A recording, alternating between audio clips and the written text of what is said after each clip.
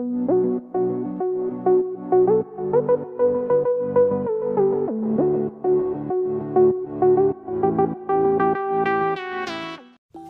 Assalamualaikum warahmatullahi wabarakatuh. Ketemu lagi di channel kita ya Yaitu Petani Polikultur. Nah untuk kesempatan video ini kita akan membahas tentang Pemberian kapur dolomit ya teman-teman. Nah ini eh, Kemarin gurutanya sudah jadi Dan ini sudah saya kasih kapur ya teman-teman Jadi untuk pemberian kapur tuh sebaiknya kalian bisa cek pH tanahnya dulu Nah kalau di daerah saya ini ada dari panah merah dia memiliki pH apa untuk mengukur pH tanah. Jadi eh, kalian bisa cek dulu pH-nya berapa, nanti kebutuhan kapurnya kalian sesuaikan dengan pH-nya tersebut. Nah, untuk di lahan saya ini ini pH-nya 6 ya, teman-teman. Nah, maka dari itu saya akan menambahkan kapur dolomit untuk 500 meter persegi ini itu saya tambahkan 50 kilo ya.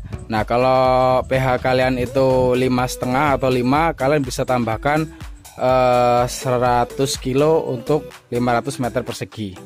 Nah, jadi saya ingin mengejar pH enam setengah ya teman-teman. Jadi biar kondisinya itu pH-nya enam setengah, jadi saya kasihnya 50 kilo untuk eh, lahan 500 meter persegi. Oke.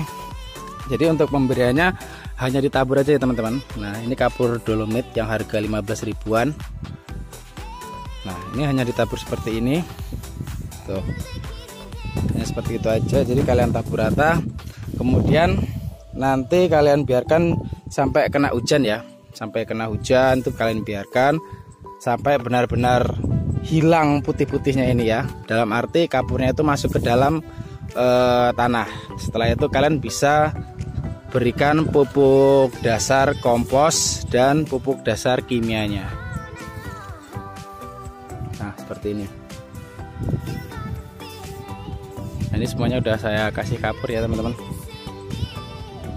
Dan itu semuanya masih di situ masih umur tiga hari jadi belum kelihatan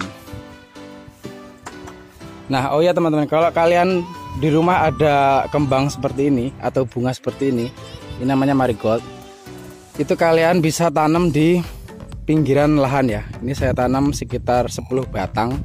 Ini nanti bisa mengatasi lelembut yang ada di lahan ya karena predator suka bersembunyi di kembang-kembang ini.